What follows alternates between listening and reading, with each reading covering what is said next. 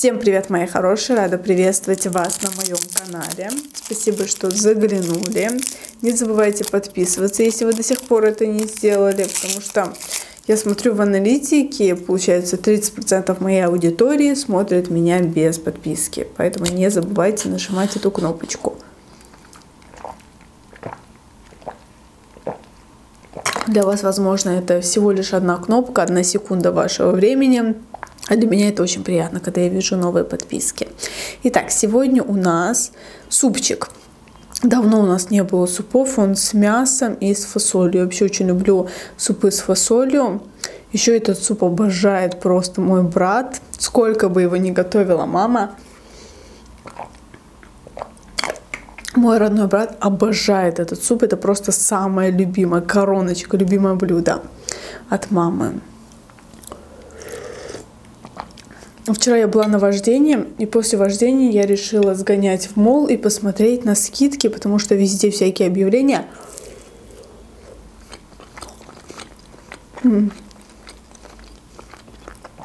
Связанные со скидками, там Black Friday и так далее. Я подумала, сейчас пойду закуплюсь, куплю себе кроссовки. Пошла в мол, знаете, с таким настроем, что все, сейчас буду отовариваться.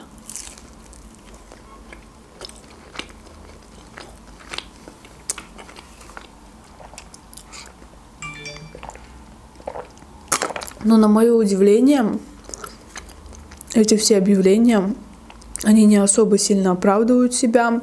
В магазинах есть, конечно, позиции, где товары со скидками. Но это какие-то летние вещи, которые и так и так зимой всегда бывают на скидках. Особо каких-то крутых скидок я лично не увидела. На новую коллекцию скидок нету. А летние вещи мне зачем? Там белье посмотрела, тоже не особо.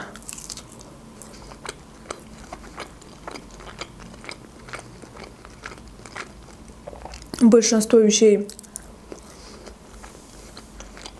все-таки по полной стоимости.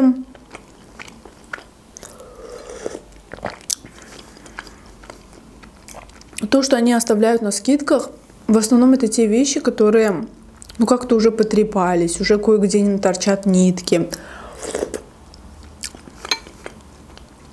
С какими-то зацепками.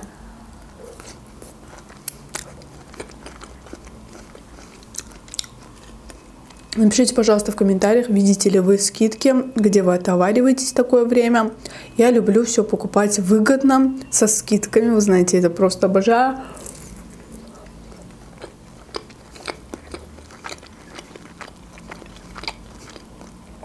Единственное, заметила на технику. Вот на технику хорошие скидки. Но у нас изначально техника стоит дорого, поэтому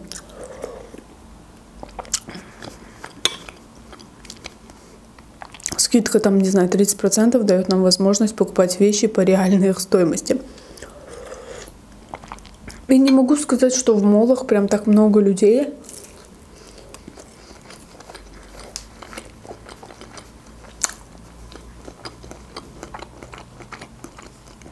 Я представляла себе немножко по-другому.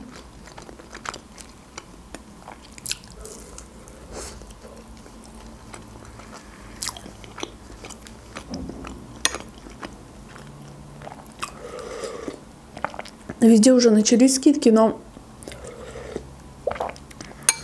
совершенно несущественные.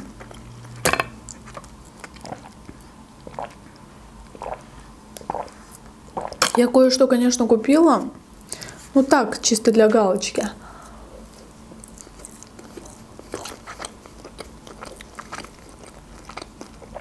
Решил сделать заказ на Шейн. Там тоже грандиозно каких-то скидок не было. Просто у меня родственница хотела кое-что купить. Ей там по мелочи нужно было. Там бижутерию, какие-то резинки.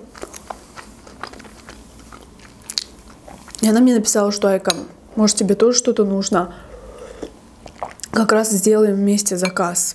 Я начала набирать, набрала корзину, у меня там было 70 долларов. Потом я посмотрела свои купоны. У меня там был купон, скидка идет 15% от 100 долларов.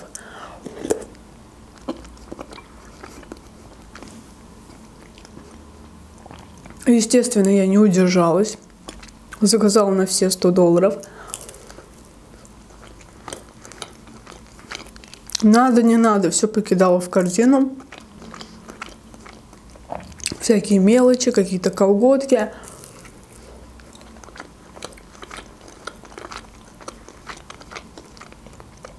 Думаю, где-то через недельку будет видео.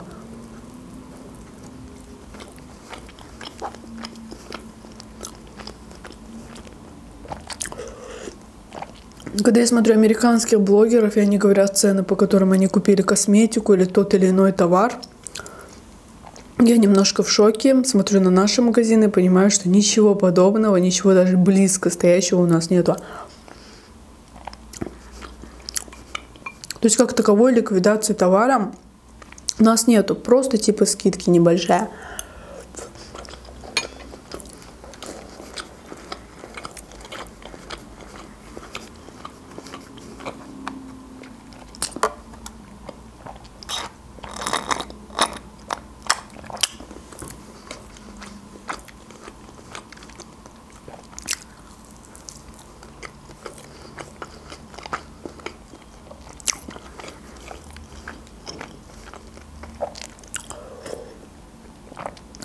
На Шейне тоже миллион уведомлений мне пришло, что там скидки, зайдите туда-сюда. За одну копейку можно что-то купить. Я не знаю, возможно, я что-то не догоняю. Напишите, пожалуйста, в комментариях, может, я что-то не так делаю. Но я, если честно, ничего там по скидке особо не увидела. Да, есть флеш-распродажи, есть скидочный товар, но они есть всегда.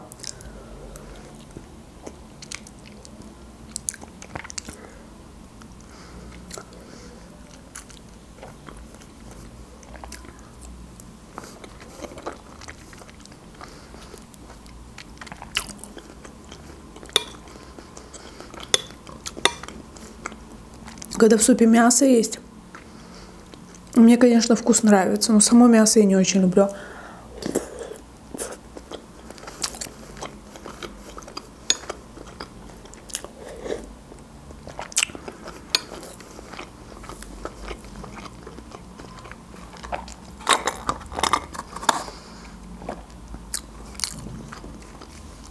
Когда мы с братом жили вместе, у нас всегда дома был скандал, кто будет кушать мясо из супа.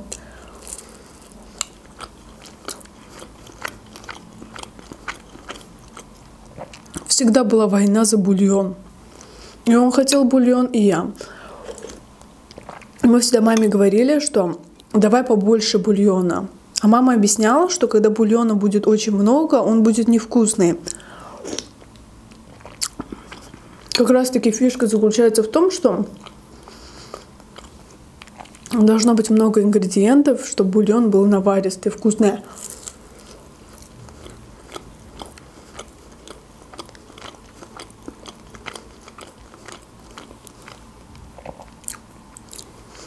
Мама все ругалась. Говорила, опять как пылесосы всю жидкость выпили. Кто будет доедать? Обожали вот так вот делать. Самый вкусный это бульончик. Навалистый такой.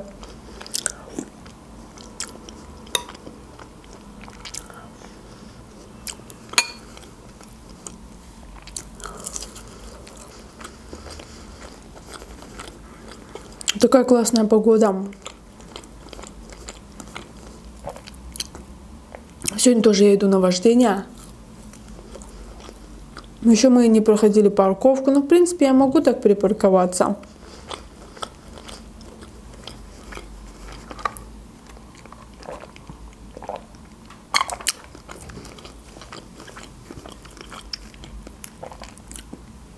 Плюс еще, кстати, инструктор помогает водить еще на своей машине. То есть, например, 10 уроков я провожу на ее машине, а потом уже могу и на своей. Она просто будет рядом, будет направлять, показывать, как, что надо.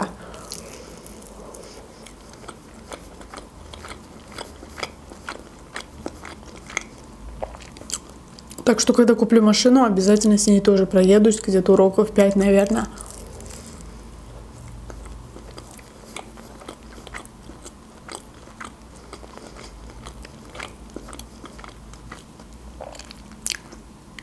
Ну что, вы знаете, я прислушалась к вашим комментариям. И с одной стороны, правильно, вот эту машину, которую я вожу, которая машина инструктора, она очень маленькая, и она помещается почти везде. То есть габарит очень маленький, ее просто водить.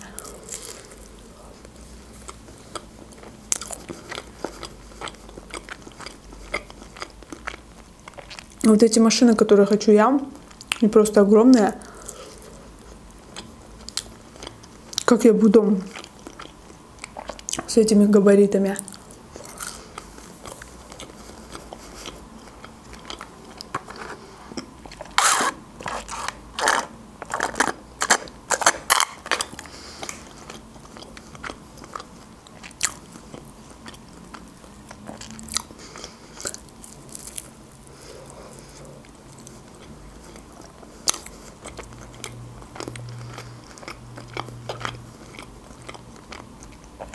Правда, инструктор говорит, это все мелочи, потихоньку научишься.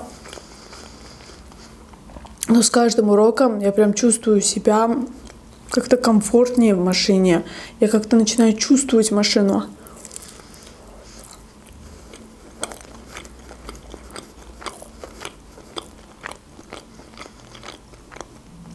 Где надо газовать, где надо тормозить. Уже даже без слов инструктора я уже понимаю, что надо делать.